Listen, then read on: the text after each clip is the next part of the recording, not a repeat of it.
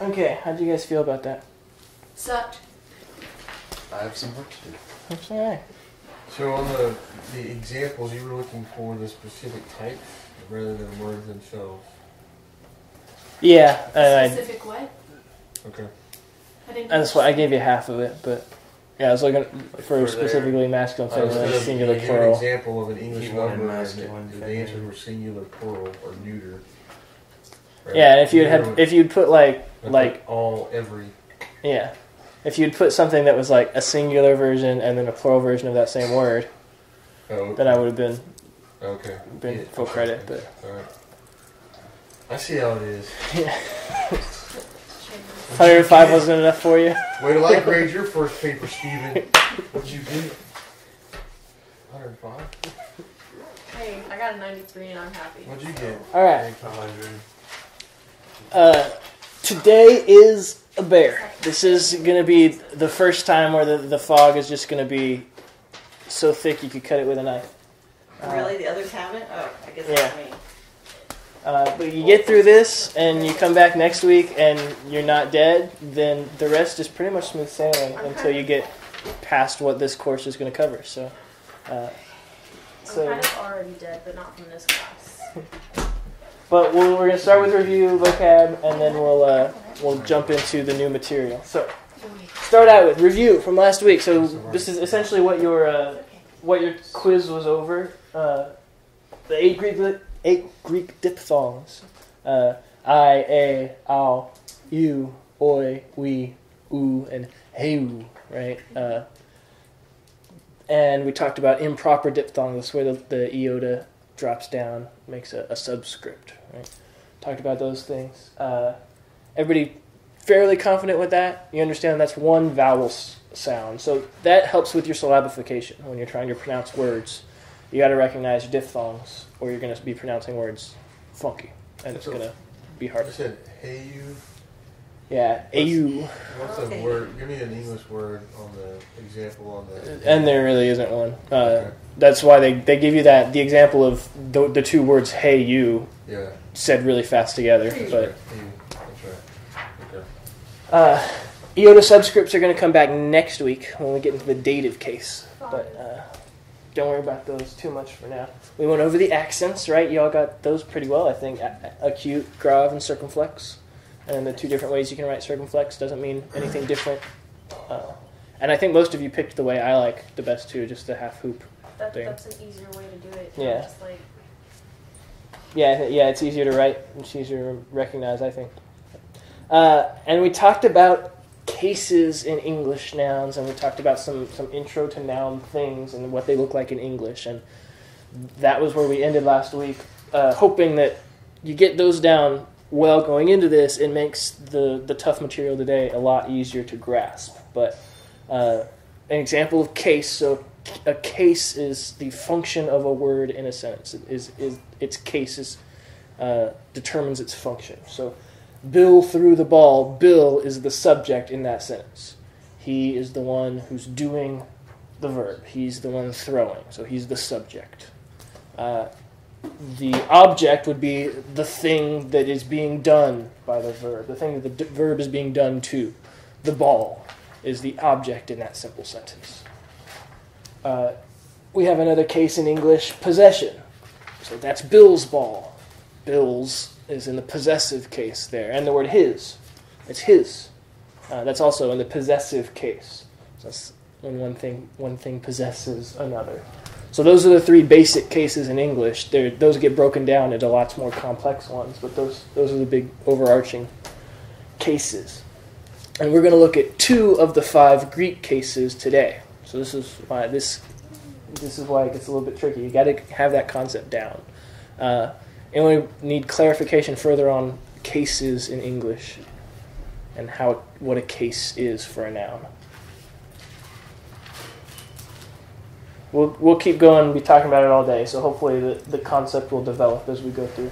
We also talked about number. So there's there's number in English nouns. Every, every English noun has a number, and there's two numbers, singular or plural. Uh, in our example, Bill threw the balls, balls would be plural, whereas Bill threw the ball, ball is singular. And there's gender. There's three genders in English and in Greek: uh, masculine, feminine, or neuter. Those are the three genders, and they do not have anything necessarily to do with the thing itself. Uh, in in English and in Greek uh, and most languages, uh, gender is just randomly assigned to the the noun in question. Uh, it's a completely linguistic term. It has nothing to do with male and female sexes.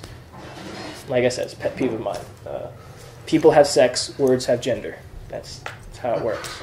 Y- Nobody in here has a gender. Everybody in here has a sex. But uh, that ship has sailed for our I always thought that was funny. society. Uh, People have I didn't go there. well, we're gonna look through the review. So if you want to pull out your review books, the or the your workbooks, That's for the next class. Re- review number one was your homework. Yes. Study. You're also supposed to be reading 1 John 1, verses 5 Yeah, I uh. through 2 5. Huh. And it's okay. Uh, Jonathan uh, expressed to me, and it's really, I can sound them out individually, but when I see them all together, it, it's almost overwhelming, right? You just Yes. start, you stop being able to do it. So you gotta really break, and it might help if you just cover them up with your fingers when you're getting started. Just here you go. I got Kai. the first five lines. Estin, Haute, Hey, etc. Uh, so that was the first part of your homework. That was the really important part. Uh, so what I'm going to do is I'm going to read the first three verses and try and read along with me. It'll be a little bit quicker, but try and process the, the sounds, okay? Kai estin haute he angelia hain hein ake ka amen, ap auto, autu, kai angeli, angelamen, humit, hati ha theos phos estin kai skatia en auto, uk estin udemia. Ean epomen. Hati koinonian, ekamen met autu, kai entoscote peripatomen. Pseudometha kai upoiumen tain althe aletheon. Ean de entophoti peripatomen hos autos estin entophoti koinanion ekamen met alelon kai tahema Jesus tu huiu autu katheritse hemas apa passes hamartias. Everybody generally be able to follow along? You lost me on the. I can't say it. The the alpha iota mu alpha. And Uh, next to the last line. The next to the last line. Yeah. It's like right above where Hema. one seven ends. Yeah. So that's got a, a circumflex and a rough breathing mark Right. So over the diphthong Right. off of the iota. So Haima. yeah, Haima, Haim, and yeah, Haima What's would be Okay. yeah, Blood. blood. Yes. Good job. Good job. All right. So yeah, the more you practice reading it, the more the rest of it comes naturally. The vocabulary I had. Oh, okay. So not from. As far as review number one, uh, the questions and things I got them up here. So, what is a gamma nasal? How's it pronounced? It's two G's, a G and a K, a G and an A. The end sound in. It's pronounced like an mm. It's a gamma, gamma, gamma, gamma, or gamma kappa, or gamma chi, or gamma xi, and the first one's pronounced like an mm. Yeah, That's you got it. But it's usually the double clean gamma. Usually the double gamma. Yes. He's talking clean. two vowels. What's a diphthong? One sound. The diphthong is two vowels Vowels that produce one one sound. sound. Two vowels that produce one sound. Yeah, that's what I wrote. What is an improper diphthong? It's the Yoda Oh, subscript. Subscript made that. Yoda. You know, All right, that's I one. thought- For some reason, I thought I got it mixed up with the when you have uh, the diphthong, but you pronounce both vowels. Oh, When- when the you use the diaresis. diaresis. Yeah, Or how, how do you say it? Diaresis. I say diaresis. I think you might be right. Uh, diaresis. is- There's not a specific name for that though, other than diaresis. No, yeah, it's just. Uh, give an example, or what? Describe when an apostrophe is used. When when do you see an apostrophe in Greek? The The vowel one word ends in a vowel, the following word starts with a vowel. Yeah, it's used when a final vowel has been dropped somebody. for smoother reading. So, for example, apa and mu and apemu. There was an example of that in the reading, right? There was, yeah. I think there were two. Uh, the, on the first line. Yes, apauto or apautu. Okay, okay. Yeah, yeah, yeah. Apautu would be. Yeah. That's the first one. Yeah. How are the two sigmas used in one word? And it's just And The S is at the end, and then the, the other one is at every, everywhere else. good. I just gave an example. Apostolos. That means apostle. Yeah. or envoy or messenger. Yeah, that too. But I Uh, Yeah, you mean Angelos sent- doesn't mean- You're sent saying one. So far, I've never seen Nope. the they both mean messenger. The- They didn't middle give sigma vowels. or whatever. I haven't seen it at the Same beginning. thing as- yeah. Unless you- Uh, there was in the reading. Uh, the word scotia, end of the second line. oh, okay. very last word. Okay, okay. Okay. Uh, give an example of a smooth and rough breathing mark. Y'all did that pretty well in the quiz. All right. Smooth opens left, rough opens right. See, I, I have to think of it the other way. Rough is left. Rough is opposite of right. Oh, okay. Whatever works. Don't let me confuse you. Uh, Smooth is an apostrophe, and the rough is not. Uh, there is this matching section, so to match the punctuation mark with its function, uh, A goes to comma, B goes to period, C goes to semicolon, D goes to question mark. What? And number eight, you're supposed to draw a line, but I couldn't Gotcha. do that as well. I did Now that I think about it, I probably could have, but I didn't bother doing that. So. Wrote it on the other side. 'cause Thank you. Above the. Uh, and then match the appropriate mark with its proper name. A is circumflex, B is the acute, C is the grave. You all did that real well on your quizzes. How does an accent affect translation? Causing inflection. Well, uh, Or changes the word meaning. emphasizing letters. It just yeah, it's, it emphasizes the letter you pronounce. It almost never changes the translation. There's very few words where the accent actually changes the meaning of a word the way you would translate it. Uh, the accent just changes the pronunciation of the word. Where the accent is tells you what le- syllable to stress. So yeah, I just stress. For our purposes, it doesn't change the, the translation. We won't get to any of the words where the accent matters. You know, I thought it was cool how he says that there were 319 words that we're going to memorize Mhm. because it's, those are the it's 80 percent of the New Testament. Yeah. And then what I, what I appreciate about what he said, he said, so learn those words, and if you want to learn any more, make sure you do like Bible study and other stuff first before you Start. go into Greek. If you really want to Greek, but more important things need to be done first. Yeah. I appreciate that. Yeah, like, and he actually he'll give you the running total of the percentage of the the word usages in the New Testament that you've learned as you go through the chapters. So that's really nice to track your progress. Ever feel good on review, or at least okay on review? I'm happy to hang out and keep going over stuff uh, and meet up during the week if we need to. So uh, we'll move on. So new material. First of all, there's only one vocabulary word for today. For today, the rest we'll encounter as we go. But this is the one that is funky. It's the word declension. So everybody say declension. Declension. Declension is a group of forms or case endings that follow a similar pattern. And we're going to learn what case endings are in just a second. Uh, endings on a word that follow a similar form or pattern And we're going to learn about two of the declensions today first and second declension. And generally, declensions match the gender that they're associated with feminine for first declension, masculine and neuter for second declension. Uh, this is a word that grammarians made up to try and help you systematize the Greek language. They, they, got all these words together and they say these words all seem to follow this same pattern, so these are going to be first declension nouns.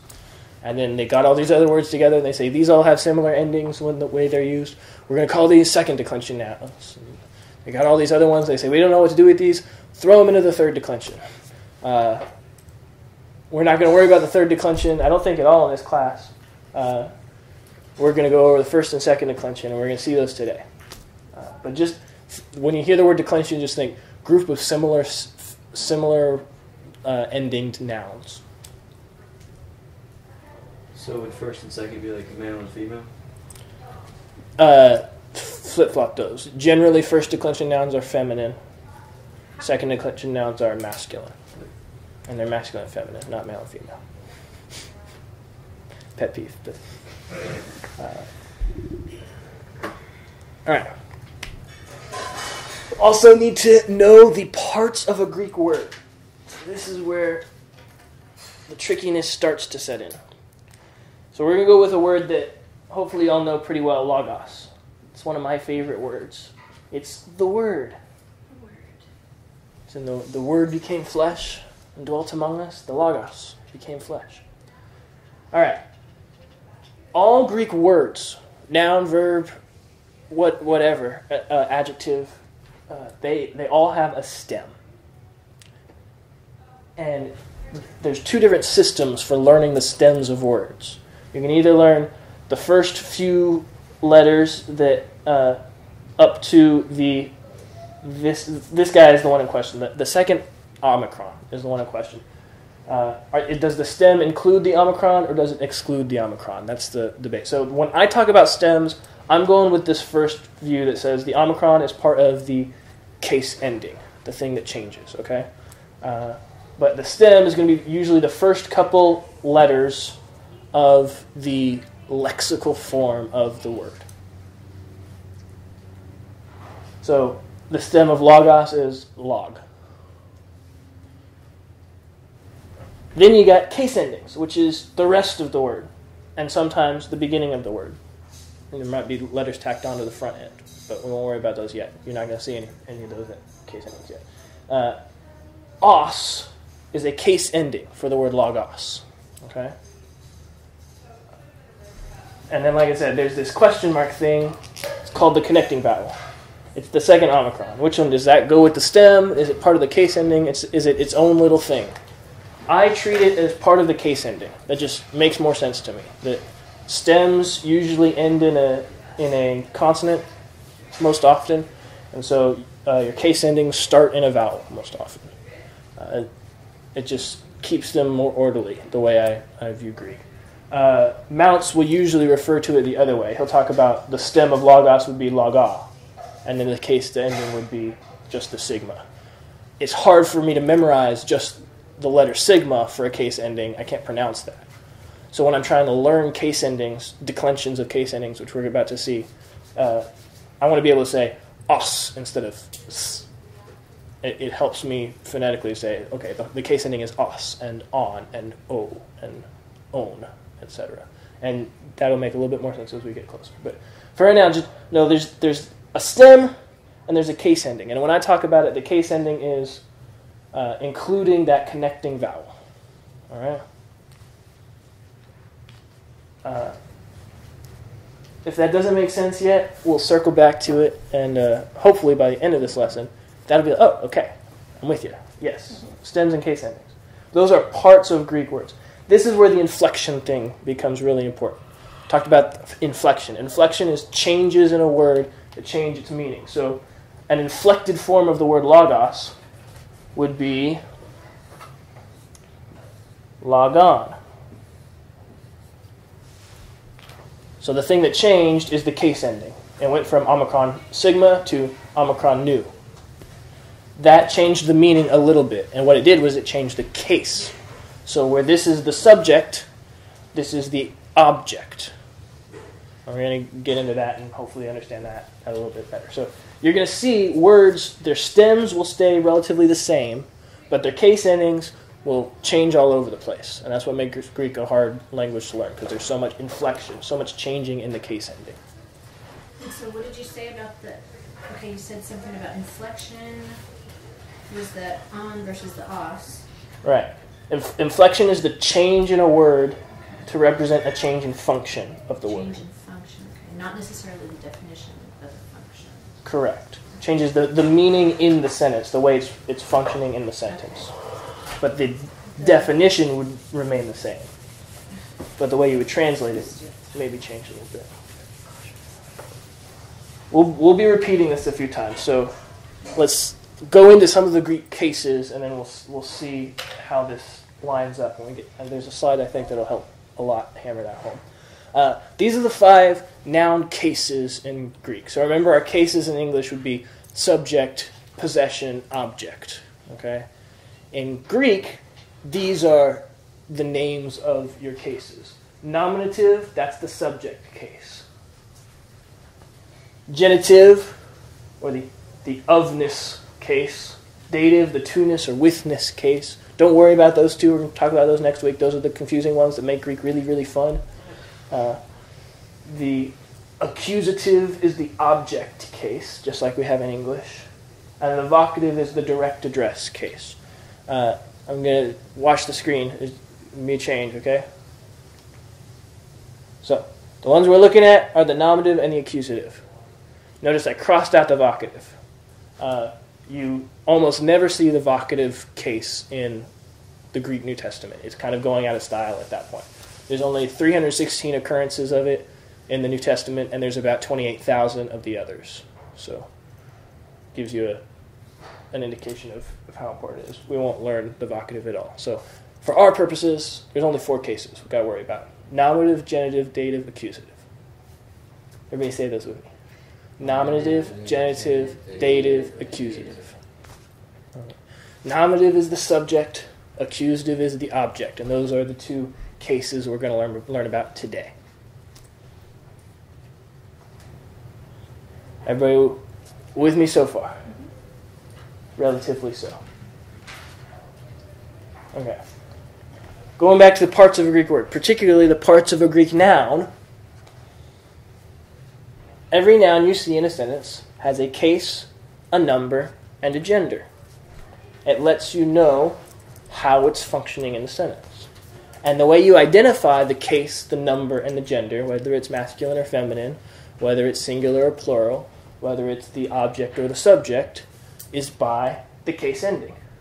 That os, us, on. You see how logos, the, the stem didn't change, but the case ending did. So, logos, the case is nominative, the gender is masculine, and the number is singular. Right? Logus, the case is nominative, the gender is masculine, and the number is plural.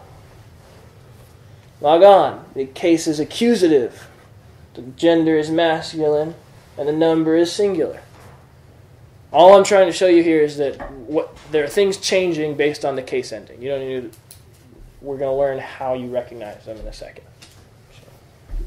You with me? Kind of, not really.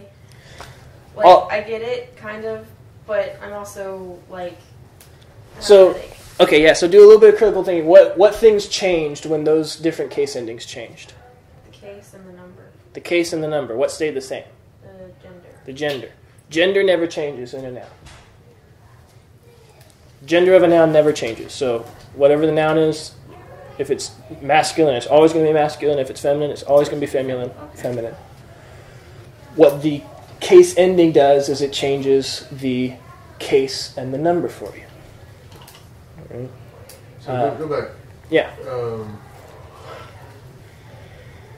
so nominative would be word and words, and that that is it like Yes, the way you would translate all of these would be word, words, words, and word. It would just be. We're going to see that in a second. That So would, be, would that be like word word this sentence this way, or yes, so the case in English is determined by word order. basically it, it becomes a verb? No, it's it's still a noun. It, Alright. Well, well, actually, Uh, there'll, there'll be an example once we get Alright. through this I'm that'll getting really clear this up. I think. But it's word, words, and then word. And word. but- yeah. Yeah. Okay. We'll see. We'll see some examples of that in just a second. Uh, that I think should help. Uh, the gender of a noun never changes, and so when you're reading your uh, vocab words, and he gives you that little uh, ha or he or uh, ta afterward, that he's telling you what the gender of the word is. We're going to learn about those articles in a second. Yeah. Uh, the number and the case change with the ending. So, uh, actually, let's skip ahead. Right now, let's let's go through the nominative and, and accusative case, and then we'll we'll, we'll go to the, the examples that kind of clear it up. Uh, the nominative case. So, this is a this is a chart you're going to want to get real familiar with. You're going to see this quite often. Uh, this is a way to just summarize, put all of the different case endings for nouns uh, right here, easy to see. Uh, notice the nominative singular. So you got singulars on top and plurals on bottom. And you got nominative, genitive, dative, accusative, nominative, genitive, dative, accusative. Okay? See how the chart functions? And then you got your declension, tells you what the declension is. Second, first, second. So these groups of nouns all form similarly, and these nouns all form similarly. They follow the same pattern. And then it tells you what the gender is masculine, feminine, and neuter. So, generally speaking, feminine nouns are first declension, and generally speaking, masculine nouns are second declension. Generally speaking, neuter nouns are second declension. We'll learn a couple exam or exceptions to that throughout the semester. But don't worry about them right now. So everybody say these these noun endings with me. The nominative singular masculine noun ending is os. The nominative singular feminine noun ending is a. The nominative singular neuter noun ending is on. The nominative plural masculine noun ending is oi. The nominative plural feminine noun ending is I. The nominative plural, I should say, second declension neuter ending is ah. Okay. Watch what's what's going to change. We're going to throw the word law, the, the stem in so you can see how they're formed in an actual word. Okay. All right. It's got three different Greek words. Why is that? Because the word Never masculine, changes one's gender. feminine, one's neuter. Yeah, it never changes gender. So, logos is a masculine second declension noun. So, it's a good word that we can use as what we call a paradigm. A word that you can learn the endings on. Simple word. You say, okay, logos. So, when you're memorizing the nominative singular, you go log os. Okay. When you're memorizing the nominative plural, you go log oi. Okay. And that helps you to remember the ending that goes with it. Same with graphe and graphai. One is singular, one is plural. They're both in the subjective, the nominative case. Same with ergon. I think that might be a new word for you. That means work. Ergon. Ergonomic. Exactly. Same root word. Uh, ergon is the nominative singular neuter, and erga is the nominative plural neuter. So that's just the nominative case, second and first declension, masculine, feminine, and neuter nouns.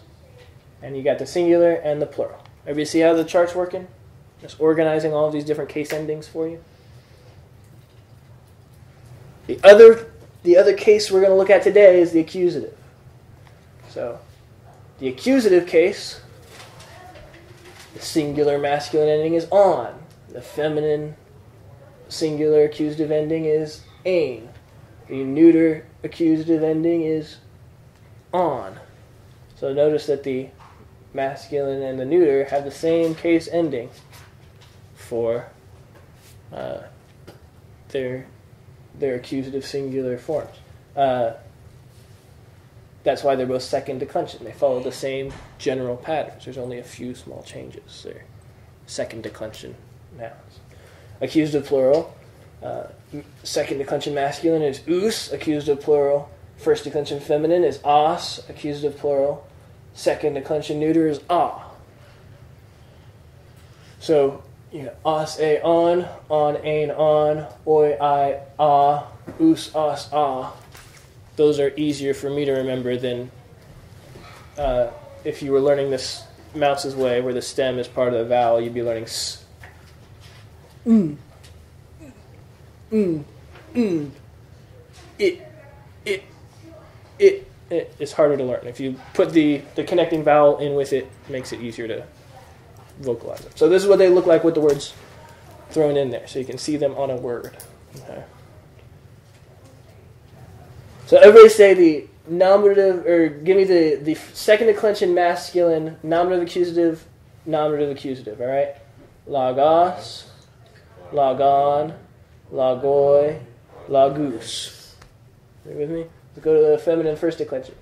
Graphe, graphane, graphi, graphos. Good. Uh, neuter. Ergon, ergon, erga, erga. What did you notice about the neuter? They repeat themselves. Yeah, accusative and nominative are formed the same in both the singular and the plural. How do you know the difference? Context. Context of the sentence will tell you is this functioning as the object of the sentence or is this functioning as the subject of the sentence? So, as you're reading a sentence and you come across a neuter noun and you have to ask yourself, wait a second, is that the nominative or the accusative? You look at the rest of the sentence and you go, oh, yeah, okay, that's. They come to that. So, uh, and we do this in English all the time. So it's just a matter of practice. Uh, you'll you'll get it. So let's look at the nominative accusative cases in English and in Greek. I think this is going to help. Okay. Yeah. So we got this English sentence: Jesus hit the man. Why would Jesus hit the man? That's. That's- that's- well, he did it when he was turning over the tables, right? He went around with a whip and was was whipping people. Uh, Must be Jesus. So Jesus hit the man. The subject of the sentence, the one doing the action, is Jesus. The object of the sentence, the one receiving the action, is the man. In English, that's determined by word order. Right. If you were to reverse these, if you were to say the man hit Jesus, the subject is now the man, the object is now Jesus. And you see how the word order determines the function of- in the sentence. Yes.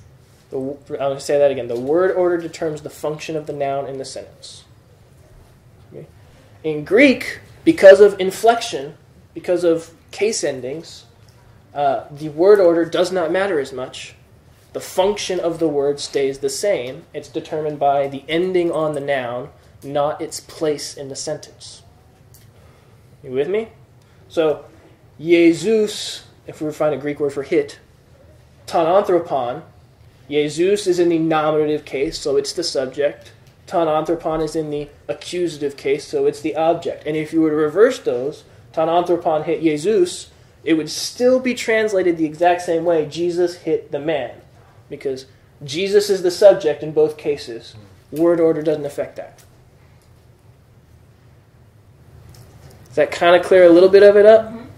Help you understand the, the case thing? What is a so a case tells you the function in the sentence. Is it the subject or is it the object in terms of nominative and accusative? So then, how do you know where to put words in sentences, or do you just put them wherever? You so that frees you up in Greek if you're you're saying if you're constructing your own sentences. If you're constructing your own sentences in Greek, uh, you can use the word order to change the emphasis. If you want to make it clear that God is the important part of this, but He's the object in the sentence, you can still put ton theon first in the sentence, even though when you translate it into English, you have to put it last because that's the object. So you're free to emphasize which way the sentence goes on Correct. what you're trying to stress. Is the emphasis on the verb that that somebody's doing? Or is the emphasis on the one doing it, or is the emphasis on the one receiving the action of the verb? word order, you can do that. You put it first. That helps you emphasize. It, make, it, it makes for a much more creative thought process while you're constructing sentences. But uh, in English, we're bound by the word order a lot more. Case is largely determined by word order in English. So we would have to translate both of those as Jesus hit the man.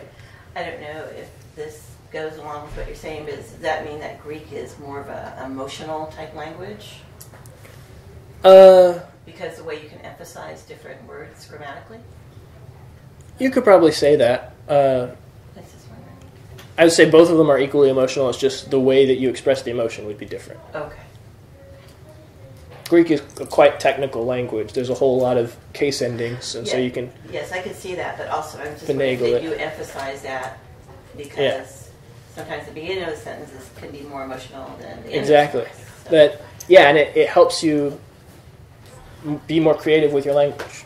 That once you master the language, you can be much more. emphasize certain Yeah, uh, the word I'm trying to think of? Fairly clear on nominative, accusative, what they mean, how they work. So let's look back at this this chart. So when you see the word logos, that's the subject of a sentence. When you see the word graphe, that's the subject of a sentence. Because of the case ending, os, a, on. But if you were to see the word log on, that's the object of the sentence. If you see the word graphane, that's the object of a sentence. Because of the case ending. Doesn't matter where in the sentence it is. That's that's nominative and accusative case. So that's all we're going to look at for those today. The last thing that we got to power through, and this is where I I wanted you to learn this quick because if you learn this next part quick, if you learn it early, it makes learning the cases, how they work, and using them a lot easier down the road. So what we're going to learn next is the definite article. Okay. Everybody say the definite article.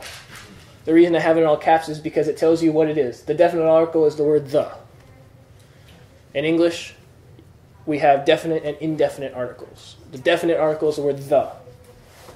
What's the indefinite article? A. A. The word a or an, if, it, if the next word starts with about. Uh, Greek doesn't have an indefinite article. It only has the definite article. It only has the word the. If there is no definite article, then you supply the indefinite article yourself, where appropriate. It's the word the in Greek, uh, in, in English, excuse me, that's the definite article. The definite article in Greek can be attached to any noun. There is no indefinite article, but it must agree with the noun it's attached to in case, number, and gender. Very important. You underline that, bold it, however you want. Your article must agree with the noun that it's attached to in case, number, and gender. So, you want to take the word the and attach it to the word logos, so the word. If you wanted to say the word in Greek, you would say ha logos. That's how you say the word in the nominative case. Well, what if the word logos gets changed to logon? It's in the accusative case, and your article has to change with it. It has to agree in case, number, and gender. Therefore, we have to have a different definite article for every case, number, and gender combination that there is. Every one of these boxes has to have its own definite article because when the word logos is used with the definite article, it has to be different, matching with than when the word graphe is used. All that to say, here's the definite article. This is the thing you got to memorize today. It's the definite article. So this is the big one. Yep. Are you handing out papers of? Yes. Okay, just making sure. So, everybody, we're going to go across the row and we're going to pronounce the definite article together, okay? Ha, hey, ta, two, taste, two, to, toe, te, toe, ton, tom, tain, tay, ta. Say that again. ta, Ta, hoi, hoi, hi, ta, tone, tone, tone, tone, tone, tois, twice, tice, tice, tois, twice, tus, tas, toss, ta. ta. Okay. This is how you write the word the in Greek. Uh. There's a bunch of different ways to write it. At least some of them are the same. Yeah. Yeah. So let's try and find some things that are similar so that we can we can Why match so them, make them many easier to different- learn. Why so that they'll match their their noun in case, number, and gender. Oh, Because if the noun changes case, it's got to change with it. And we only have to worry about the uh, nominative and the accusative, right? On this one, you got to learn the whole chart at once, and that's going to help. That's why I'm, that's why I'm saying you learn this now. It's going to help you down the road because if you learn these really well, this is, should be something my my Greek professor uses this. Uh, every- is it's like you should you should be going ha he ta two toys two taste two. Uh, ha he ta ha he ta over and over and over again to the point where if you were to get into a car accident and your brain got smashed in and they took you to the hospital and they cut into your brain they'd open it up and they go what's what's this ha he ta what what's going on? That's how ingrained it should be. Just ha he ta two taste two to tain to ton tain ta if you memorize this well so much easier recognizing words later. Because when you get started to reading greek you're going to have to be able to recognize logos as a nominative singular masculine like that and continue with the sentence. But when you see the, the letter ha logos ha tells you right away nominative singular masculine. Okay i found the nominative i found the subject of the sentence. It's the one with the word ha in front of it. So if you learn your articles well it helps you if you learn these it helps you in finding and identifying your nouns later uh, if you if you get to the word graphe or graphi, but it says hi graphi, you just recognize the little the, the two little letters hi. Oh yeah, that's nominative plural femi- feminine. Uh, the word the. Okay, so that's the nominative. That's the subject of the sentence. There's a little so trying to a couple things to, to recognize. They they follow the same the same endings. I wish I had. Actually, I'll pass these out now so you can look at them. Uh, their endings are very similar to the noun endings that we just saw in the nominative and the accusative, and in the genitive and the dative. Uh, if you look at the second page of these notes,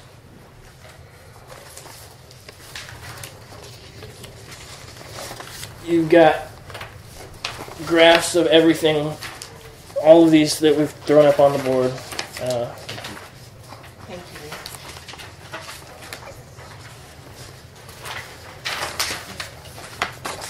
so if you look at the second page with with all these charts for you to help help you memorize, let's start looking for some similarities in the endings and the articles. Uh, so first of all, neuter, nominative and singular stays the same, or nominative and accusative stays the same in the singular, ta and ta. Same as the ending, ergon, ergon, ergon, right? Uh, they, they stay the same in both cases. Uh, same with the plural, ta and ta, only spelled with an alpha instead of an omicron. Uh, pronounced almost exactly the same. Uh, you look at the the feminine first declension. Tain. You look at your feminine graphane. You see the similar ending, ain, ain, tain, graphane. Uh, and a, he, with his graphe, same ending, he, a. You look down in the plural of the second declension, High and toss, graphi, graphos. So you see how the the definite article matches se- seems very similar to the noun that's once it's been inflected. So they're going to match. I'm saying. Uh, log on, ton, log on. See how the the article ends with the same two letters as the inflected noun. Ton lagon. Uh, hoi lagoi, nominative plural. That would be the words. Hoi lagoi. Tus lagus. You see how this has the same ending. So you learn this, and you've memorized all of your noun endings. That's why I'm having you do this now. This is on page 46. It's chart 710 in your books. That's the chart you, you need to memorize. And there's a little mnemonic device to help help you do it uh, it's a song to help you learn your definite article, and it's the article song. It's to the tune of "To God Be the Glory." You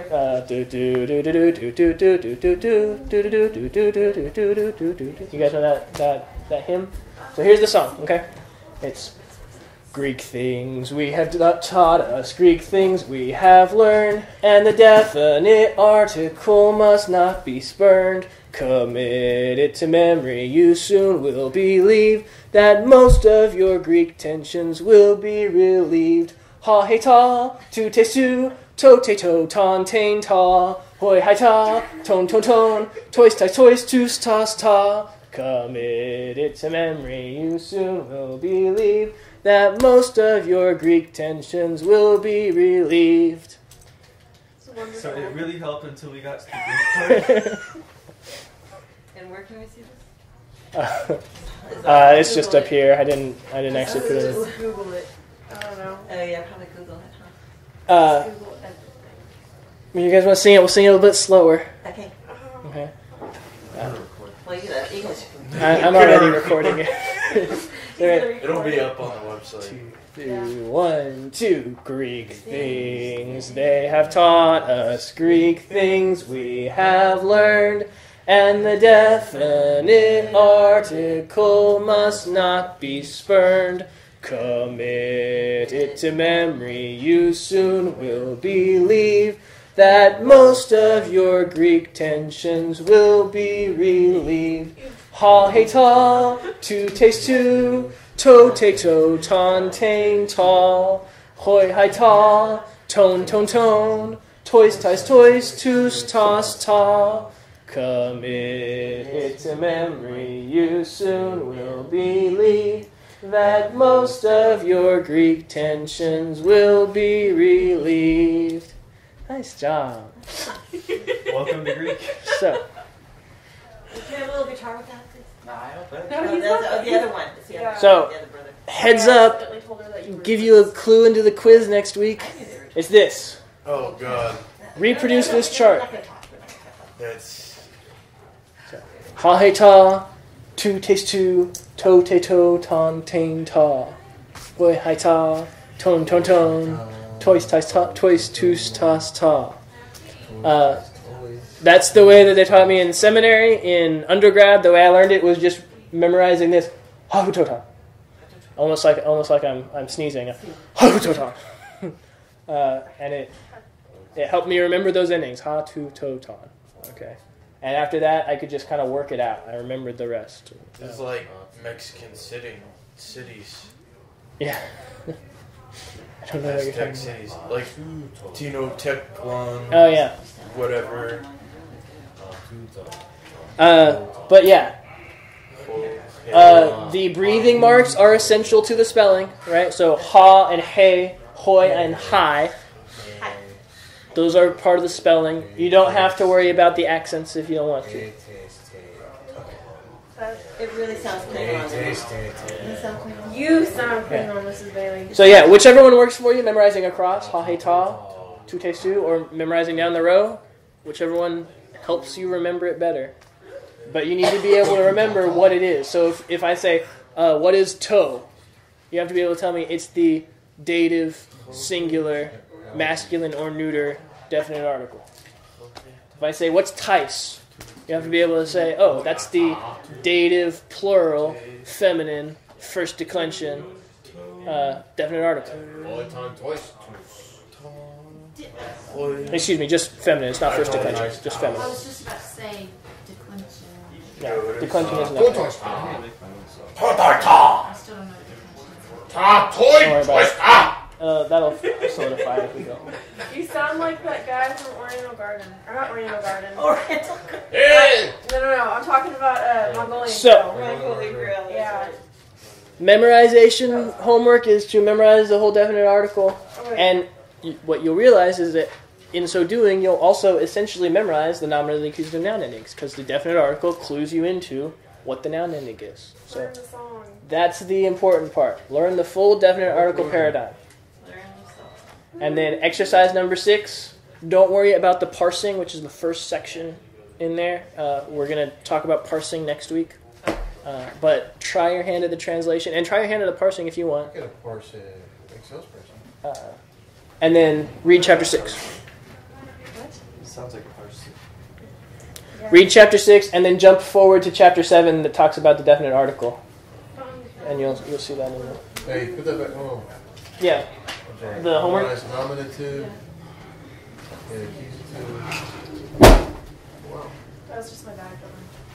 Don't too many regular things in there. I was talking. Hey Zach, how's it going? Were you here in time to hear us sing? That would Miss, it was uh, more of a. Fortunately, I was not. How's it going? And the full See ya. definite part. And the critical. I feel less fun than I did last week. Well, you were here What's the last full week. definite article Exactly. paradigm? What, what is that? What- That's the ha he ta thing there. That's Sweet goodness. that is the full Man, definite you article should come paradigm. learn Greek with Memorize us. that chart. No, don't Apparently, do all it. you have to do is sing songs and you just memorize Greek. Don't just. So the nominative and accusative Greek noun nursery endings was that first chart that we looked at, right? Sorry, So go back to the, the knowledge. uh, I'm going the wrong way. You know, learning a language is So that- a lot that simpler part, when you you don't have that. to deal with other. And you schoolwork. memorize these, but There was nominative and accusative. That's why I'm Plural not- and singular, right? yeah, but what I'm what I'm telling you is if if you memorize the definite article, you've memorized all of these endings. I got you, okay. I got you. You want to teach me how The to only one that's different is nominative singular masculine, ha and ah. os. Lucid right there. But all the rest match with their definite article. I think so. But let me, let me make sure. It's the card. All right, Thank you. Yeah. no problem. Uh, we'll see y'all next week at Yeah, two o'clock. Can you show me? Feel free to call me for clarifications as you're studying and practicing.